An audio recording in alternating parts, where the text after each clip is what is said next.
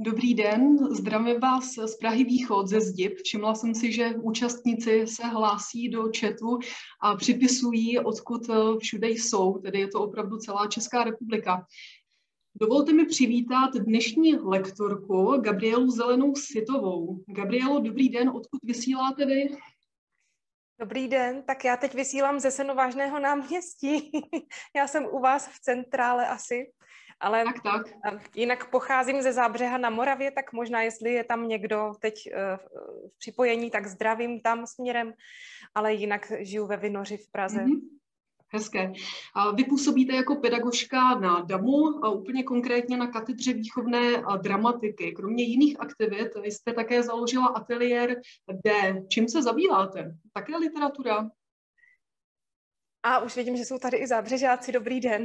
Ateliér D vznikl jako laboratoř řečové a mluvní výchovy, protože já jsem přesvědčená o tom, že je potřeba se zabývat mluvním projevem a že je docela dobré pohlížet na to, jestli je um, vlastně, jestli jako v umění můžeme použít to, jak se chová běžný mluvní projev a jestli i to umění by zase mohlo vnést něco do toho běžného mluvního projevu. Mhm. Určitě více informací na vašich stránkách a v další vaší činnosti. Pojďme zpátky k webinářům. Již jeden proběhl, který jste vedla, byla to poezie pro první stupeň základních škol a všimla jsem si, že ohlasy byly perfektní. Dneska vlastně navážeme, budeme se věnovat současné próze a cílovou skupinou jsou opět eh, ty první stupně základních škol, respektive pedagogové a, a také jejich žáci. Máte nějaké základní poselství nebo něco, co byste opravdu chtěla zdůraznit, když vybíráme knihu pro takto relativně malé děti? Co je tím hlavním gro nebo opravdu poselstvím? Ah, měla by to být kvalitní knížka, ale já vím, že o té kvalitě to je strašně mm, spletitá otázka a vlastně na ní není jednoznačná odpověď. Ale pokud my můžeme nabízet kvalitu, a my můžeme nabízet kvalitu, protože je hodně kvalitních knížek, tak bychom to měli dělat. Mhm. A v poslední době zaujal vás nějaký projekt, něco, řeknu, atypického, výrazného, specifického? Měla byste tip a případně objeví se ve vaší prezentaci? Určitě. Budu hned začínat knížkou Příběhostroj od Reného Nekudy. A omlouvám se všem, kteří už ty knížky budou znát, ale myslím, že jsem vybírala ty, které bych chtěla, aby všichni češtináři v České republice znali. A příběhostroj je mimořádný, protože vlastně vnáší literárně teoretický pohled, nebo možná pohled tvůrčího psaní přímo do literatury pro děti. Mhm. Výborně, já už se moc těším a za Národní pedagogický institut České republiky i projekt SIPO moc děkuji za vaši účast a těším se na viděnou i při tom dalším webináři, který nás společně čeká. Hezké zhlédnutí a krásný podvečer všem. Díky moc, prosím. Děkuji za uvedení. A rovnou bych postoupila prvnímu slajdu, nebo rovnou se do toho pustím, než se dostanu ještě k René Nekudovi tak um, vlastně mám pro sebe sama takové moto, že je potřeba vybírat kvalitní knihu. A vždycky, když se bavím s kýmkoliv o tom, že děti dnes nečtou nebo čtou, nebo jak je to vlastně s tím čtenářstvím, tak oni možná čtou eh, spoustu jiných věcí, než jsme četli my jako malé děti. A k té knižce je občas potřeba jim napomoct. Takže um, já moc neřeším to, jestli děti čtou kvalitní knížky, hlavně když něčím začnou. A potom vlastně mám takovou teorii, že když vidím, co čtou mý žáci, uh, učím na základní umělecké škole literárně dramatický obor, takže tam mám děti od první třídy až um, vlastně po devátou třídu a často se stýkám i se středoškoláky, tak vždycky, když vidím, co ty děti čtou a co je zajímá, tak se snažím, uh, pokud nečtou kvalitní literaturu, přicházet s alternativou, která by je mohla zaujmout. Takže vlastně se pořád snažím číst a číst a vybírat, eh, co je to ta kvalitní knížka, abych mohla přinášet alternativu. Mm, chtěla bych se dnes zaměřovat spíš na prózu, i když tam bude spousta takových různých vždycky možná výjimek, nebo um, ty knížky jsou opravdu krásné, myslím si, že po všech stránkách, že dnes máme na trhu už i jako vynikající um, řekla bych, vynikající zpracování i typografické, i výtvarné, takže dnes eh, vlastně hm, knížky vypadají jako výtvarný artefakt a chovají se jako kompletní umělecké dílo. Tak eh, vlastně bych chtěla i tímto způsobem tu knížku nabízet přinesou nějaké své typy a rozhodně by někdo z vás tady možná mohl teď sedět místo mě a nabízet zase to, co třeba má rád on. Tak prosím, přijměte to jako takovou mou nabídku toho, s čím já ráda pracuji a co ráda nosím dětem, ať už jsou z dramaťáku nebo případně i z nějakých hodin češtiny. Mm, myslím si, že knížka může jednak být partnerem pro samostatné čtení, ale u těch dětí, o kterých přemýšlím jako o dětí na prvním stupni, tam si myslím, že je důležitá ta složka sdíleného čtení. Pořád bychom měli dětem předčítat, ať už je jim, kolik jim je. Pokud to s námi vydrží pubertáci, tak i těm bychom měli předčítat. A mm, nabízet tu podobu knížky vlastně audio. Uh, slyšet knížku na hlas, zažít knížku na hlas a vlastně být, trávit s ní nějaké hezké společné chvíle. Tak uh, možná, že i takhle jsem ty knížky vybírala. A to je možná ta nota, o které chci mluvit, uh, že my dospělí asi můžeme hodně tady tomuto napomoct, když budeme vyprávět. Když budeme dětem už od malička číst, tak vlastně v tu chvíli už se stáváme vypravěčem.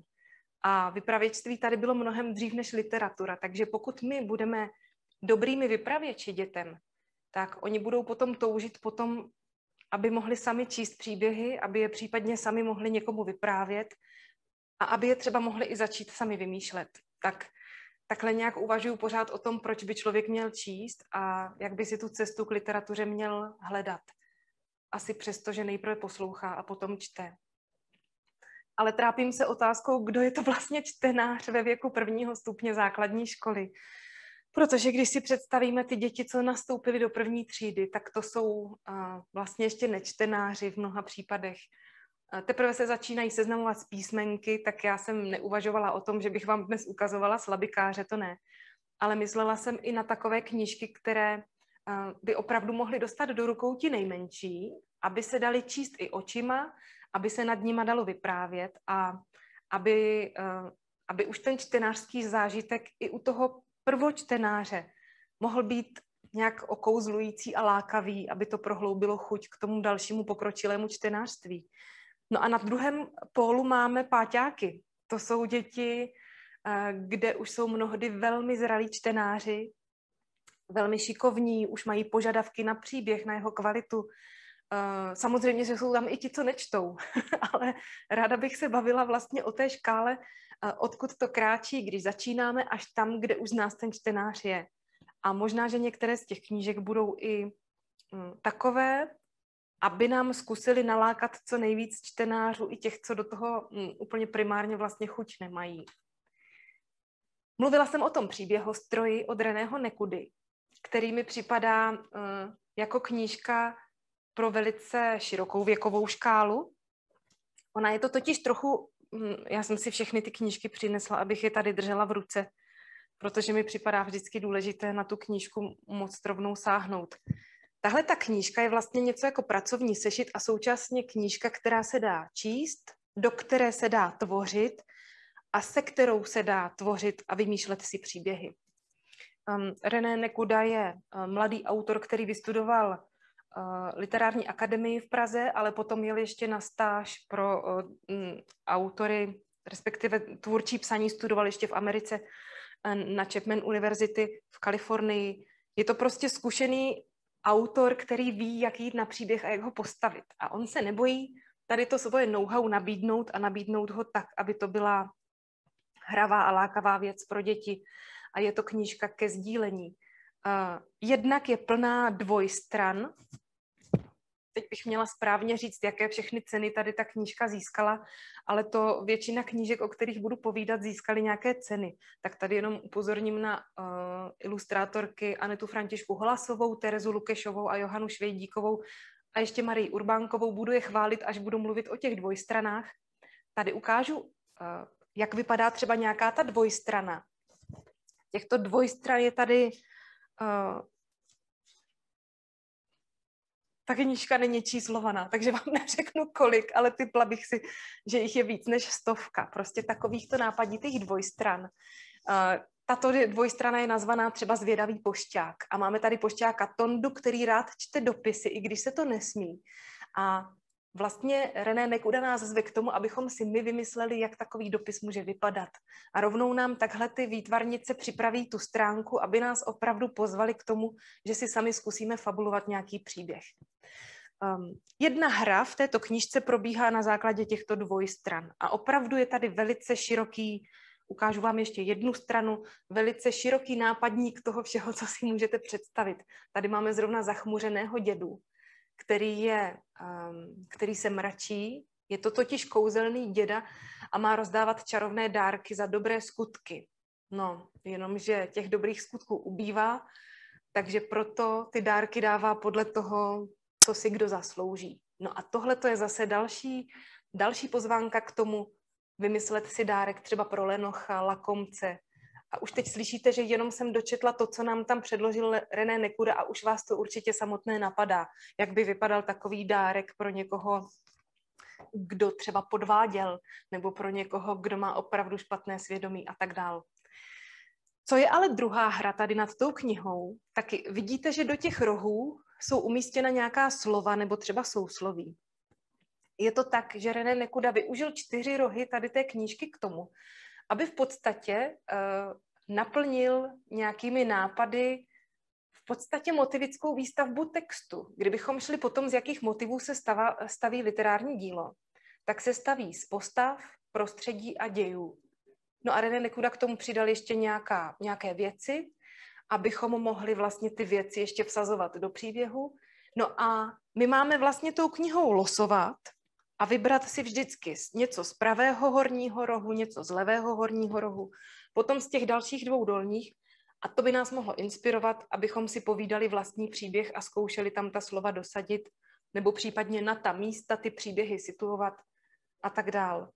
Takže Tohle by měla být asi pozvánka, abychom se seznámili s autorem René Nekudou, který má i své vlastní webové stránky. Eh, zjistíte tam, že třeba i vede kurzy tvůrčího psaní a že je to velmi tvůrčí mladý muž. Eh, já jsem k tomu příběhu stroji byla na začátku skeptická. Když jsem slyšela, co to je za knížku, tak jsem si řekla, mm, to bude takový nějaký zase návod, jak vyprávět příběhy. Ale tady je opravdu tolik pěkných nápadů. Ehm, je tam prostě kocour v botách, který vymýšlí nové boty. Jsou tam prostě nejsou to první plány. Je tady nějaký popelář Luďa, který řeší zase své problémy. Pak tady máme třeba starý gramofon a řeší se tady, co by mohl hrát takový starý gramofon. Um, metro a černá díra, opuštěný dům a tak dál. Prostě těch nápadů je tady nepřeberně a to, co bychom sami vymýšleli poměrně složitě, tak už tady máme naservírováno na zlatém podnose. Doporučuji vaší pozornosti. Další kniha, která mi připadá, že vlastně ještě nemusí být k tomu ucelenému čtení, ale je hodně interaktivní, to je Hlava v hlavě. Vlastně je to encyklopedie. Je to literárně výtvarná encyklopedie, takže nedá se říct, že by to byla nějaká odborná literatura nebo literatura faktu, ale současně i je, protože autorská dvojice David Bem a Ondřej Budeus prostě vytvořili výtvarně literární, řekla bych, obklíčení hlavy a to uh, veli, velice krásnými nápady. Dokonce máme uprostřed i třeba mapu hlavozemě, na které bychom našli hrátky s jazykem uh, v takovém stylu, jako třeba, že je tam město Monokladno, nebo jsou tam takhle právě ob, vymýšlí, vymýšlí všechny, všechna možná slova, která bychom mohli najít na hlavě, tak vymýšlejí, jak by to, jak by to bylo zasazeno do mapy, třeba uh, Vla Severní distrikt a tak dál. Uh, krásně si tam hrají s obrazností jazykovou, uh, s frazemi, které nějakým způsobem vtahují nos takže tam máme všechny ty frazemy, jako nestrkat nos do cizích věcí, nebo nevidí si na špičku nosu. Potom tam s podobným způsobem si hrají vlastně jako s ušima, s jazykem, eh, se vším, co tak asi na hlavě najdeme a co všechno se týká frazeologie. Potom jsou tam takové věci, jako třeba krásná práce s průklepovým papírem, kdy se dívám na obličej člověka a vlastně můžu pozorovat, jakým způsobem vznikají vrázky. Jsou tady i komiksy, je tady ta práce, jak jsem chtěla doříct s tím průklepovým papírem, jakým způsobem si, si krásně člověk může pohrát s tím, jestli jak to vypadá, když je obličej s, vrázka, s vrázkami a když je bez vrásek. Uh, Potom je tady, jsou tady vlastně i komiksové ukázky a všechno se to pořád týká hlavy. A je neuvěřitelné, jak, mm, jak fungují metafory lidského těla.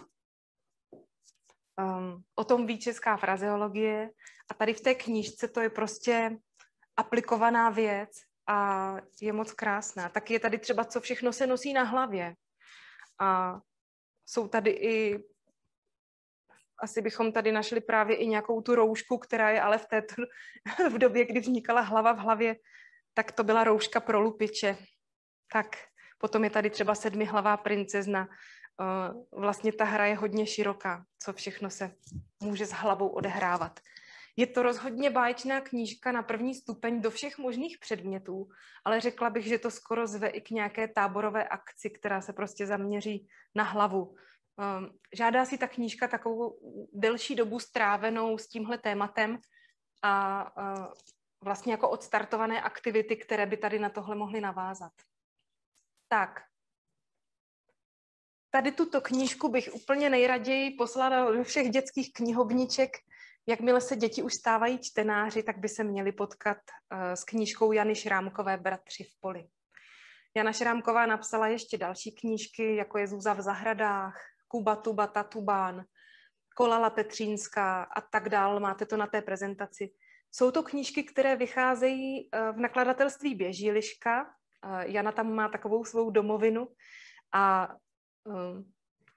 já potřebuji vyzdvihnout knížku Bratři v poli, protože s tou mám sama velice konkrétní zážitek. My jsme s tím pracovali s dětmi v dramaťáku. To byly děti ve třetí třídě, možná byly tehdy ve druhé. Pardon. A uh, ta práce byla neuvěřitelná, protože tihle dva sympatiáci, Dageš a Mapík, se jmenují, tady ti dva bratři v poli, je to Sisel a Hraboš. To je tak neuvěřitelně sympatická dvojka, že vlastně um, i rozumím tomu, že Jana dlouho hledala, jaké dvě postavy by měly naplnit tahle ta jména, Dageš a Mapík. Kdybyste si četli v nějakém rozhovoru s Janou Šrámkovou, nebo třeba i v doslovu v této knížce, tak zjistíte, že Dageš a Mapík jsou vlastně diakritická znamenka uh, z hebrejštiny, kterou Jana studovala. A uh, když poprvé na hodině hebrejštiny uslyšela tady tahle ta dvě slova, nebo je viděla někde napsaná, tak si řekla, ano, toto jsou literární postavy. A potom docela dlouho čekala na to, než se objevily v její představě uh, tyhle ty dvě, tyto, tyto dvě myši nebo tihle dva hlodavci. A protože má velice ráda Daisy Mrázkovou, tak pořád hledala ty správné hlodavce nebo ta správná zvířátka, aby vlastně už nebyla literárně obsazená, aby už sebou nenesla nějaké konotace. No, urodil se Dageš, který je, um, který je hraboš a je takový nenechavý, do všeho šťourá a je to trošku škarohlík. A nikdo ho moc nemá rád. Až jednou přijde do jeho končin Mapík, což je Sisel, a ten ještě Dageše nezná, takže před ním neprchá a nebojí se začít si s ním hrát, tak toho Dageš pro jednou využije a vyzve Mapíka, jestli by si spolu třeba nezačali hrát, i když mu na začátku říká, ty jsi ale divná myš, vytvoří se Dageš a poskakuje kolem příchozího. Máš tváře jak polštáře, hehe. A nebo ne, vzpomene si najednou, víš co, pojď si radši hrát. Na co, zeptá se nejistě Mapík. Na kamarády. A tak si hráli. A teď jsou tady mm, v kratičkých odstavcích ty popisy těch jejich her a hrají si na námořníky a jsou z nich rytíři, potom kovbojové a jsou z toho unavení, protože ta hra je vždycky úplně naplno a když si takhle nějakou dobu hrají, tak potom je tady naprosto kouzelná část knížky, kdy jeden druhému říká, poslyš, že my si na to už nehrajeme, zamyslel se jednou Dageš, že my jsme kamarádi do opravdy. No a teď se přijde na to, že tady ta, že to hraní si společně opravdu může způsobit to, že najednou jsme spolu kamarádi a že jsme dokonce tak velcí kamarádi, že dokážeme i překonávat nějaké nástrahy. Potom samozřejmě přichází ta zajímavá etapa, kdy nám Sisel upadne do zimního spánku a teď je na Dagešovi, na tom um, Hrabošovi, jestli to vydrží počkat na kamaráda a jestli to zvládne přes tu zimu, když bude hodně sněhu a když bude málo jídla. Prostě uh, počkat tam na stráži, aby ten jeden byl v pořádku a aby, ten, aby se o toho svého kamaráda nemusel bát, tak to vyžaduje velké odříkání. A jaký to má konec, to možná nechám, abyste si třeba přečetli, ale chtěla bych říct, že když se děti mají možnost setkat s tímhle krásným příběhem o přátelství, tak z nich nemůžou vyrůst uh, prostě špatní lidi. Já bych tuhle knížku opravdu ordinovala. O přátelství, nádherná. Potom tady mám, uh, teď to bude teď to bude vypadat, že se tady dojímám nad každou z těch knížek, jo, ale já jsem opravdu vybírala svoje srdcovky, o kterých jsem přesvědčená, že patří do knihovničky pro děti na prvním stupni. A věřím tomu, že ještě od některých těch knih budou dotisky, protože bratři v poli to rozhodně jakoby se dotisk, dotisknout mělo, pokud nejsou k sehnání.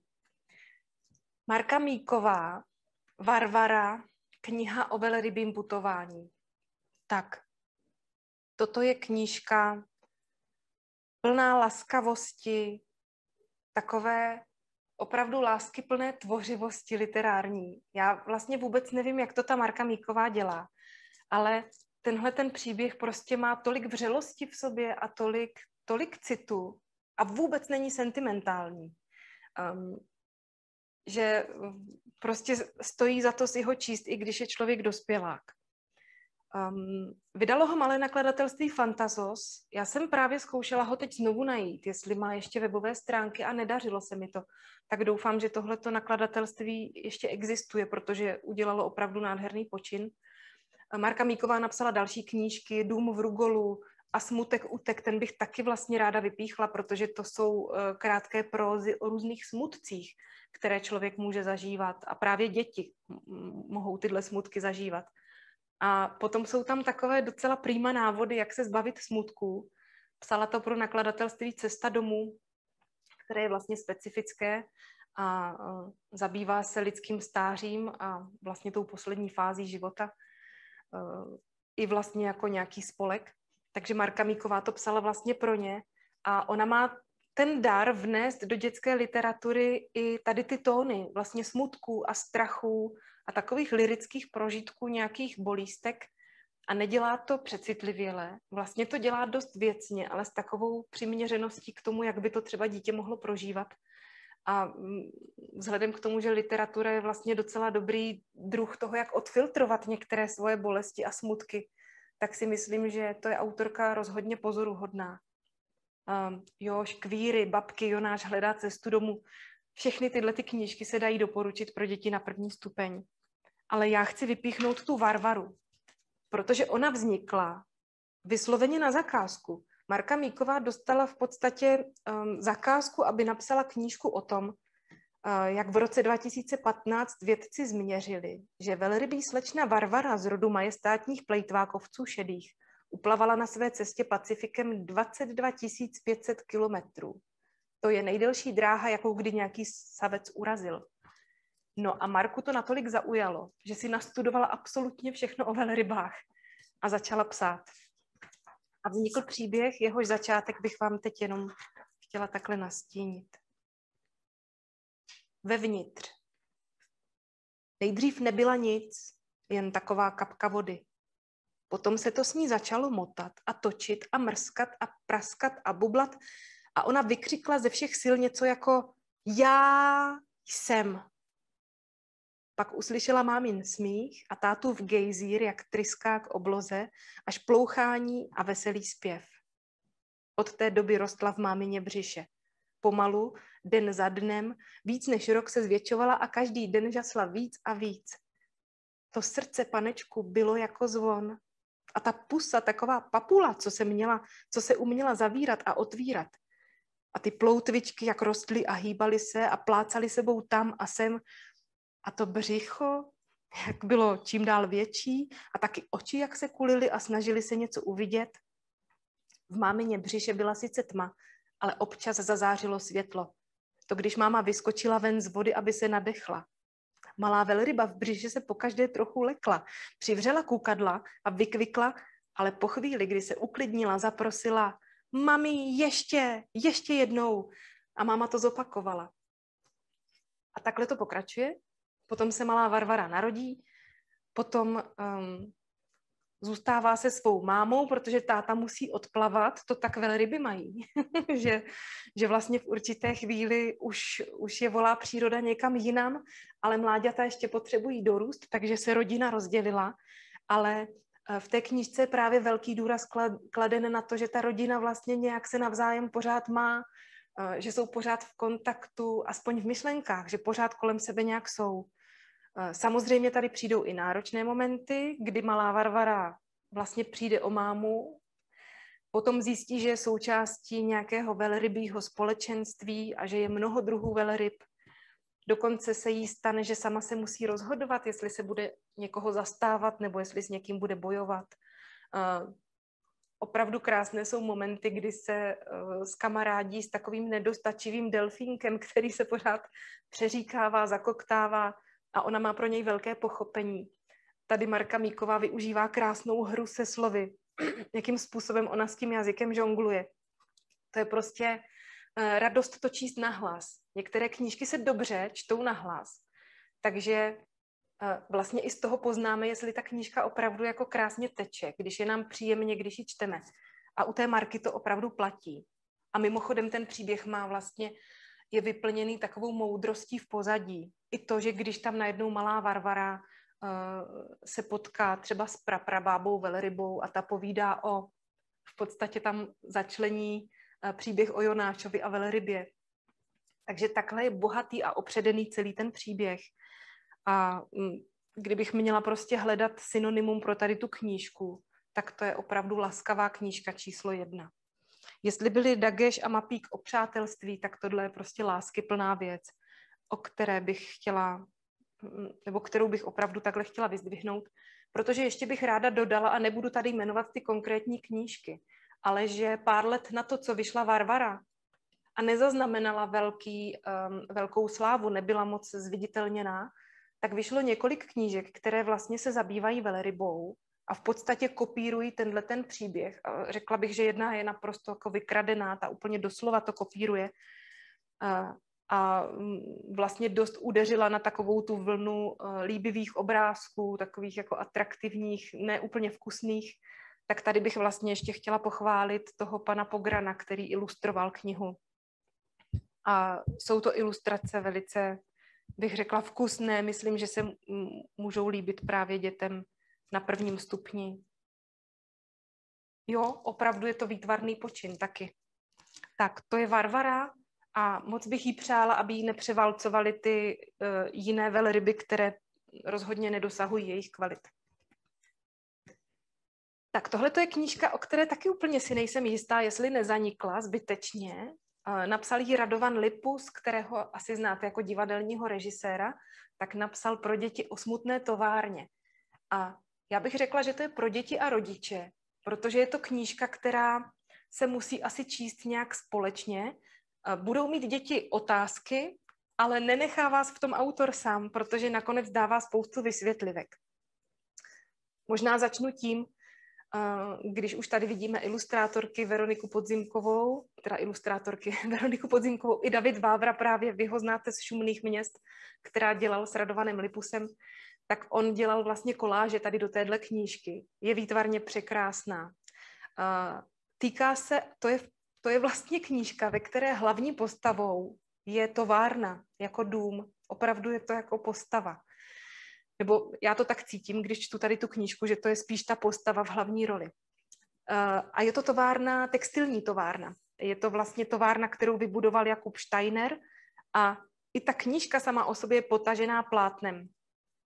Nádher, je to nádherný pocit takhle si chytit tu knížku do ruky a jenom přejet po tom plátně. Uh, já jsem tady dala i začátek té, toho textu, protože bych jenom chtěla, abyste docenili, jakým jazykem nebo s jakým jazykem nakládá Radovan Lipus. Ten příběh je dlouhý, klikatý a prudký jako řeka. Někdy skřivě radostný, jindy zaskalně smutný, a na přečtení čeká. Začíná na téhle stránce, u pramene. Na konci této malé knížky složený do písmenek do moře otázek vtéká. Pramen je kde? Ve stráni v horách jízerských. Kdysi, kdesi. Té stráni sluší hlučné jarní květiny i tichý zimní sníh. A teď popisuje vlastně tu krajinu. A potom se vydáváme společně s Jakubem Steinerem prodat látky, které utkal. A díky tomu, že Jakub Steiner a jeho synové jsou eh, uvyklí práci a umí si práce cenit, tak se jim podaří vybudovat vlastní továrnu, která je v Liberci, nebo mm, spadá to všechno do těchto jízer, do jízerek.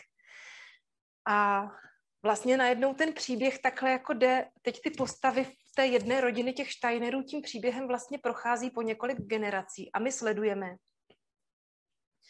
jak ta továrna přežívá různé etapy uh, vlastně od, od, monar, od dob monarchie přes první válku, uh, druhou válku, jo, meziválečné období samozřejmě, poválečné období, potom celou, uh, celou dobu komunismu a znárodňování.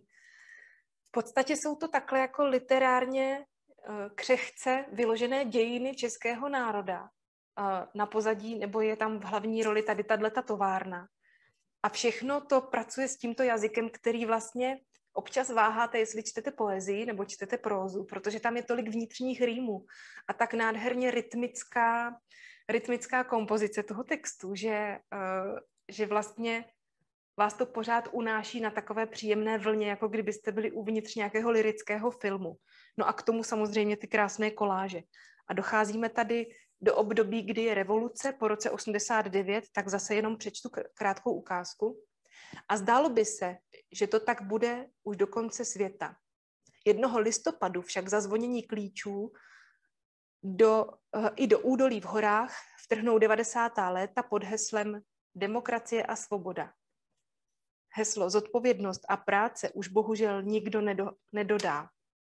Je čas restitucí a divoké privatizace. Vidíte, že některé ty etapy jsou tady docela kratičkým, krátce překlenuty, takovou jako rychlou etapou. Ale on tady potom vlastně podtrhuje, co pro některé ty údobí uh, bylo takové jako heslo, které možná zaniklo a nemělo zaniknout.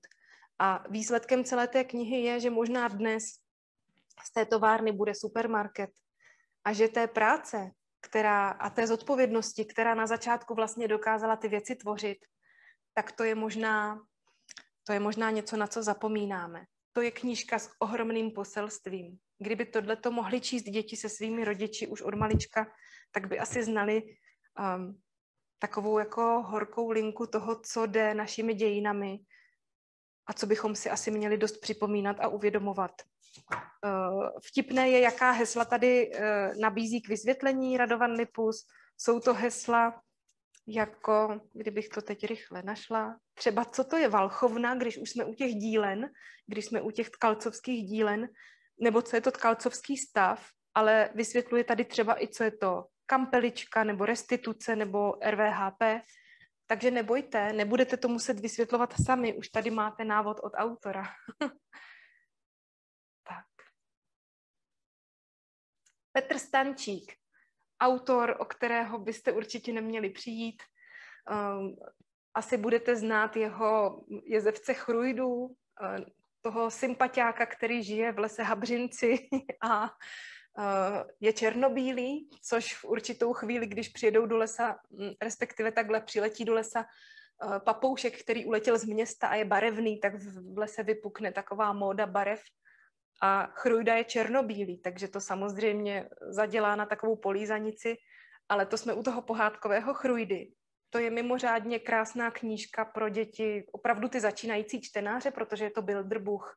Um, přibližně stejnou roli tam hrají, hraje výtvarná stránka knížky jako, jako ta literární stránka.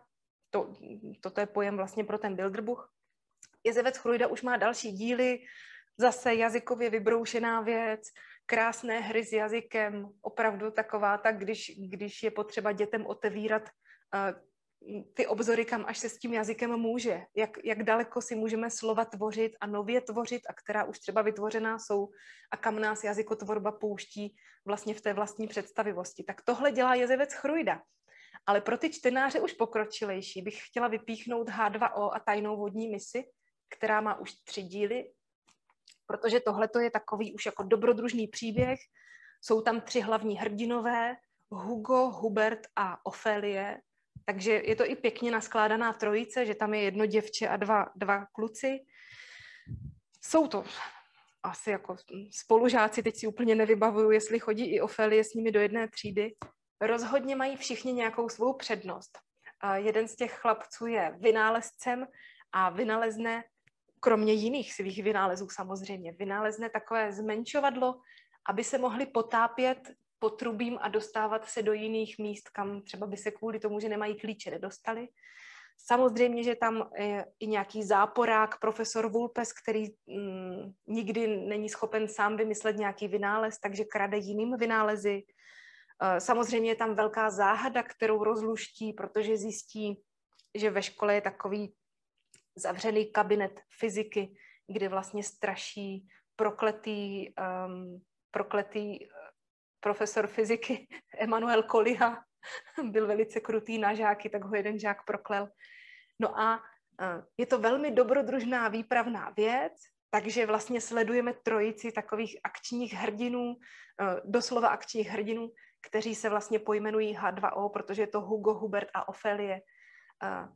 Jsou to takové chytré děti, které vlastně mají potřebu bojovat s nějakým bezprávím, hledat to, co je, to, co, to, co je správné na světě. A uh, vlastně je to zasazeno do takového současného světa a Stančík to umí jazykově. Takže vůbec se dětem nepotřebuje podbízet, ale úplně normálně jede v tom jejich jazyce krásným způsobem. Úplně normálně tam vidíte větu, jako to by byl před, tohle to je trapas, ale takhle to je jako jinak, že používá teď, teď cituju vlastně strašně nešikovně, ale já jenom chci říct, jak ten Stančík opravdu umí použít ten dětský jazyk, jak vidí dětskýma očima. A já si skoro myslím, že to je kluk, který prostě jenom vyrostl a už vypadá jako pán, ale uh, píše to, jako kdyby to zažíval přímo tam, tady tyhle ty všechny dobrodružství. No a kromě toho je ta knížka velmi, mm, má, má náběh na takové ty rebusy, které musíme v průběhu luštit což teda vlastně dělal uh, velmi pěkně v té své detektivce Mrkev Cucla podzem. To je taková podzemní detektivka pro děti.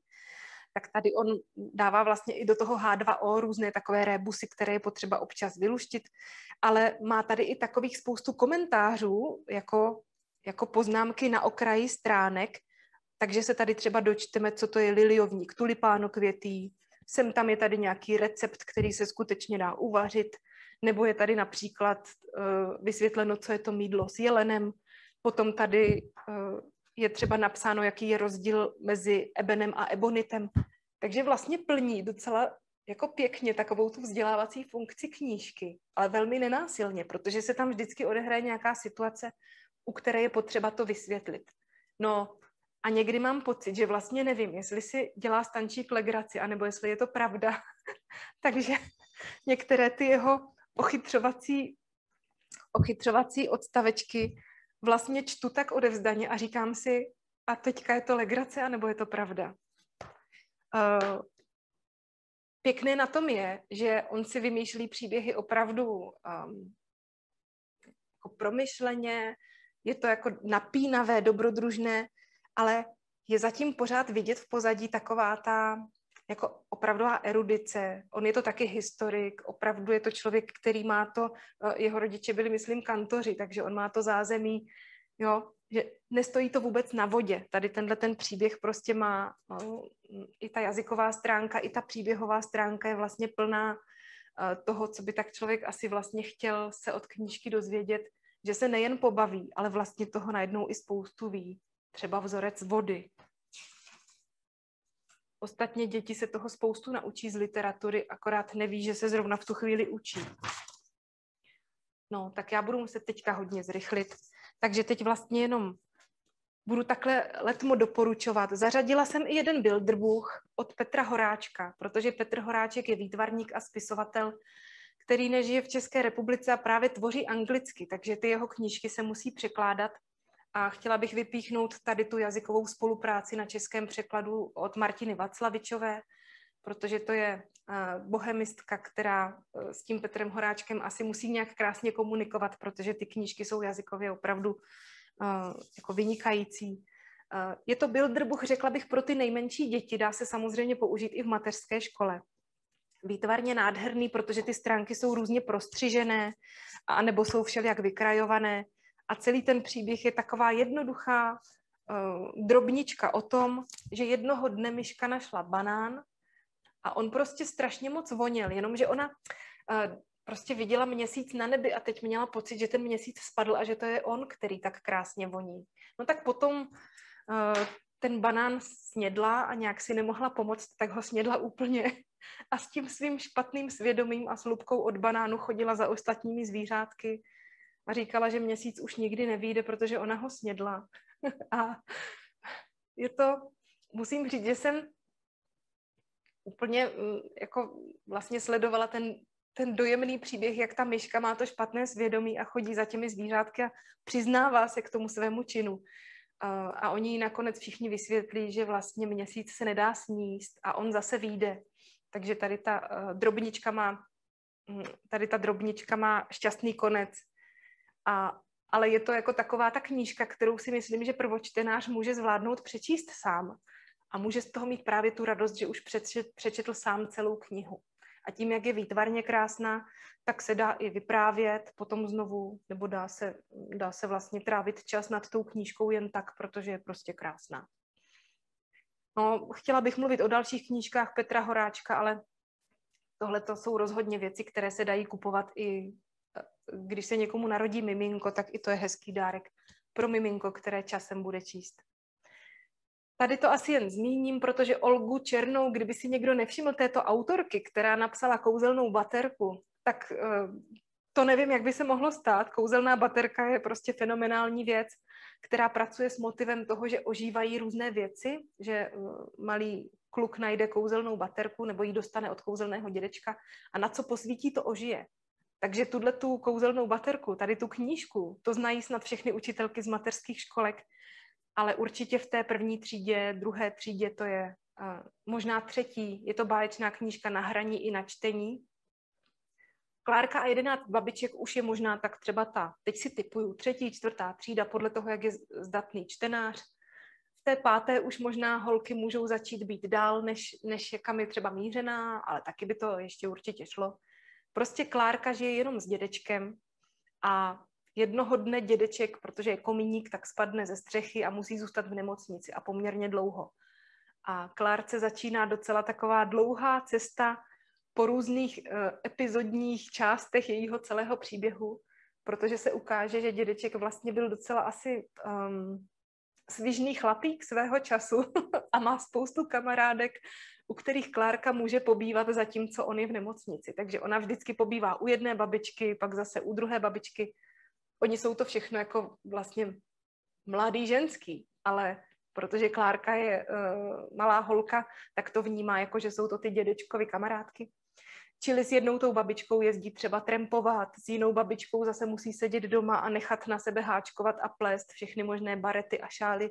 U jiné babičky třeba zase teď, teď jim všem říkám babičky, uh, u jiné babičky třeba, uh, jo, jiná babička je zase aktivistka třeba a bere ji na demonstrace a tak dál. Takže Klárka se vlastně dostává do různých domácností a vždycky se o ně někdo stará a vždycky je to někdo, kdo má ale hodně takový vytříbený, specifický názor na svět. Tak, Klárka a jedenáct babiček. Já se omlouvám, že to beru takhle letem světem, vlastně to není asi žádná, vůbec to není žádná ucelená přednáška o literatuře pro děti na prvním stupni, ale to se v 45 minutách nedá. Takže jenom říkám to, co by nemělo zapadnout. Klárka, tam, Klárka a 11 babiček tam měla dvě titulní strany, protože vyšla jednou takhle na zeleno a jednou na růžovo. Už má za sebou dvě vydání. Tohle je knížka, která možná nestrhla velkou pozornost na sebe. A já ji jsem s chutí dávám srdcový erb od Ivany Engelmajerové, protože jde o takovou to, toto je klidně čtení pro děti, kteří už jsou docela dobří čtenáři, učtou delší příběh, takže bych to viděla na takovou čtvrtou, pátou třídu. Já mám teďka holky v páté třídě, které už jsou čtenářky a oni právě potřebují už takové jako větší příběhy, už, už to nejsou samozřejmě bilderbuchy, už Klárka a jedenáct babiček jim připadá, že je to malá knížka, takže už chtějí větší román. No a tady tohle to je uh, vlastně příběh, který má v sobě takové jako velké tajemství. Je to trošku zasazeno do, takové, do takového historizujícího tajemna. Já možná přečtu kousek z toho přebalu. Malé lázeňské městečko Kalvar je mnohem méně ospalé, než se na první pohled může zdát. V úzkých uličkách starobylé čtvrti Hemlík a ve starém klášteře, kam chodí 12-letá Anima na výtvarné kurzy, se začnou dít podivuhodné věci.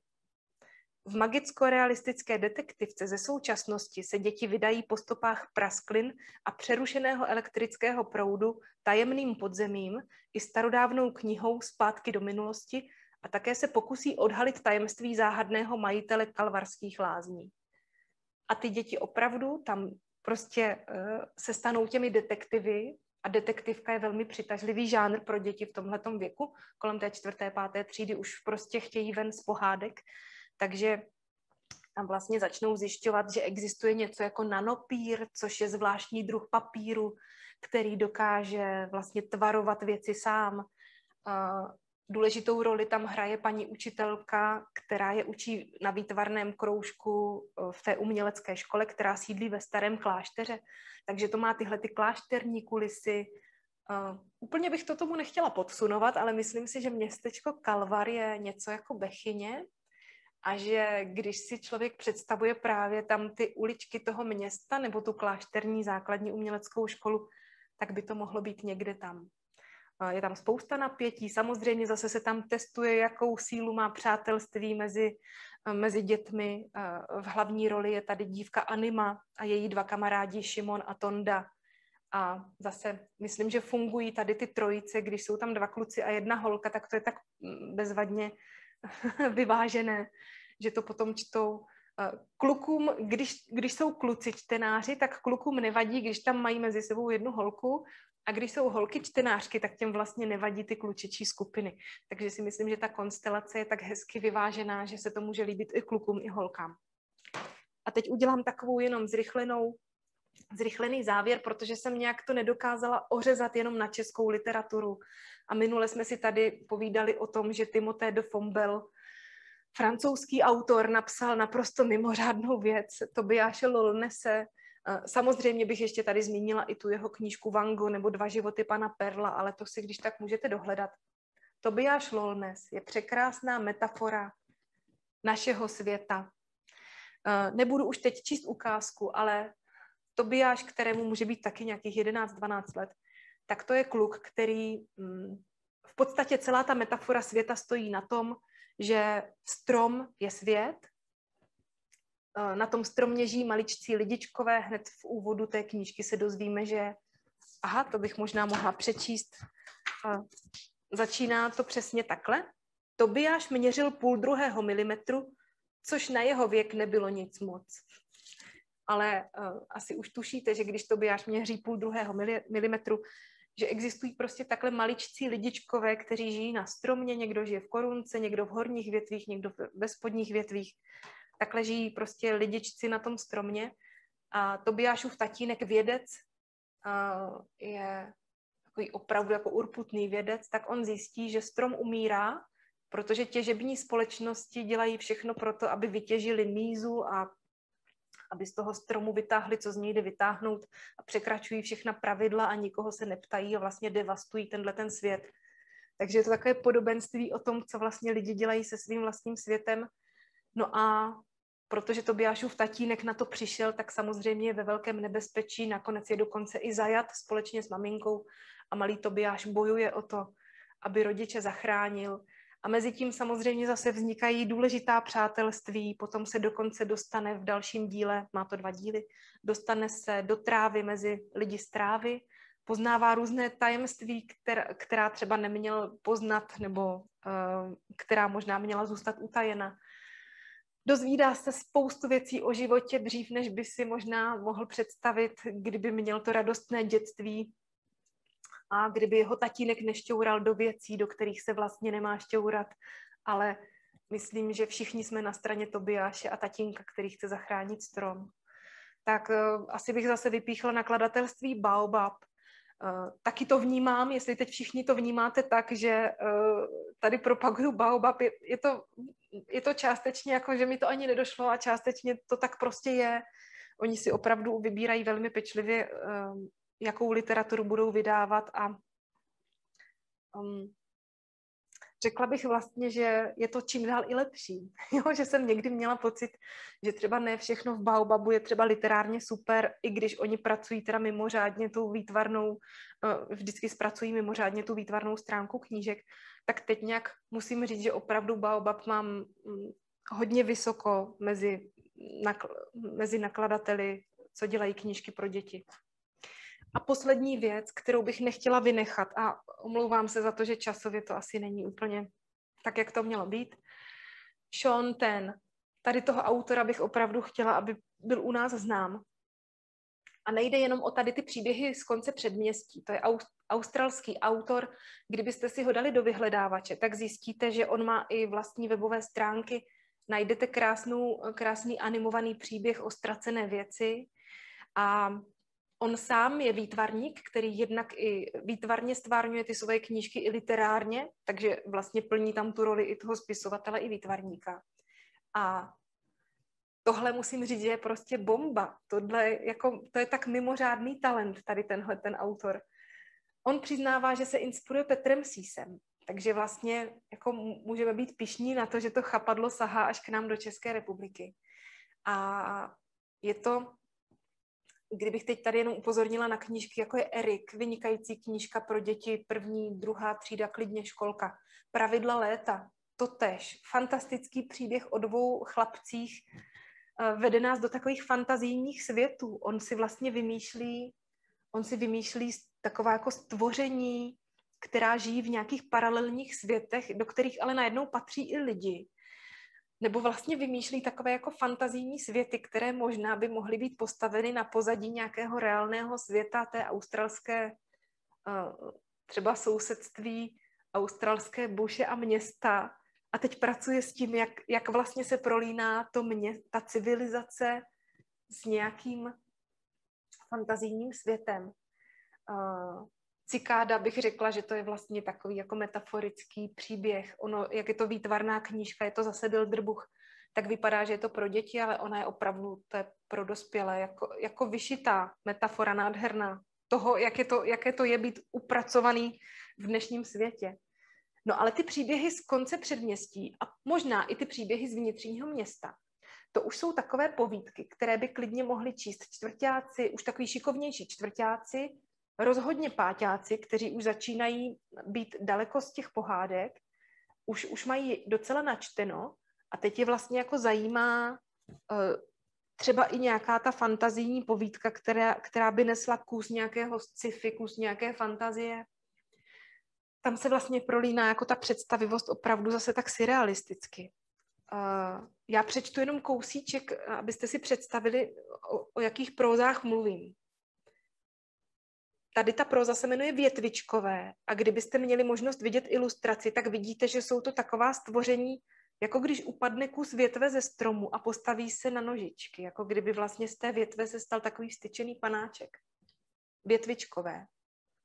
Když stojí uprostřed ulice, je snadné se jim vyhnout, stejně jako byste objevili kus kartonu nebo mrtvou kočku. Když zapnete kropení trávníku, odradí je to od okounění kolem vašeho domu stejně jako hlasitá hudba a kouř z grilování. Nedělají potíže. Jsou jen další součástí předměstské krajiny.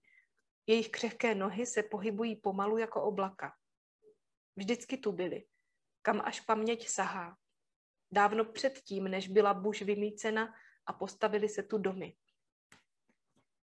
A teď on v té povídce vlastně nechává uh, takhle nám dává nahlédnout do toho, jak se vlastně lidi vztahují k tomu, kdo to jsou větvičkové a vždycky z těch povídek čiší takové nějaké memento, nebo nějaký je tam tajně podsunutý um, uh, vlastně vždycky je tam nějaká hluboká myšlenka, která by nás neměla nechat v klidu. Třeba je tam popsané město, ve kterém úplně na každé zahradě stojí uh, vlastně raketa nějakého, nevím, dlouhého doletu, krátkého doletu. Prostě všichni mají na zahradě raketu a už si na to zvykli, že všichni mají možnost odpálit raketu, až by na to přišlo, až by vláda dala pokyn. Tak v takovýchhle světech se vlastně jako ocitáme díky Seanu Tenovi, ale doporučuji jeho knížky už jen kvůli tomu, že jsou výtvarně překrásné, že pracuje s takovým principem zoomu, kdy vždycky nastolí nějaký jako široký obraz, pak ten menší, menší a ještě menší, a nebude třeba od těch nejmenších a zase roztahuje a roztahuje a roztahuje a my pořád zjišťujeme, jak to jak nás to oko mnohdy šálí, že někdy vidíme to, co bychom chtěli vidět, ale ve větším kontextu to vypadá jinak.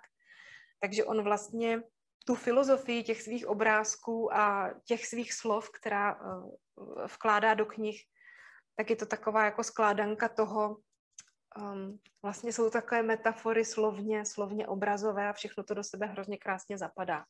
Doporučuju. Tak,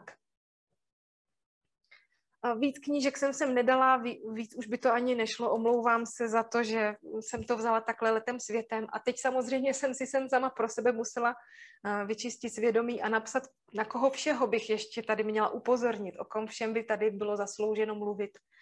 Prostě Daisy Mrázková, Lenka Uhlířová, dokonce Vlastimil Brodský má překrásnou knížku pro malé děti, teďka znovu vyšla, um, Miroslav Šašek. Omlouvám se všem, o kterých to tady teď nebylo, tady jsou nějaké inspirati- nějaká inspirativní jména ze zahraničí, uh, taky nemohlo dojít na všechny a nech zůstanou v této prezentaci pro vaši pozornost. A poslední vlastně upoutávku, co bych chtěla říct, tak tohle si přečtete taky v této prezentaci, že časopis Tvořivá dramatika se poměrně důkladně věnuje eh, recenzování součas knížek pro děti a mládež, které vychází, tak se snažíme eh, recenzovat a e, stará čísla jsou zdarma dostupná na tady těch webových stránkách, tak kdyby vás zajímaly nějaké recenze, můžete se tam podívat. Tady máme zdroje použité literatury.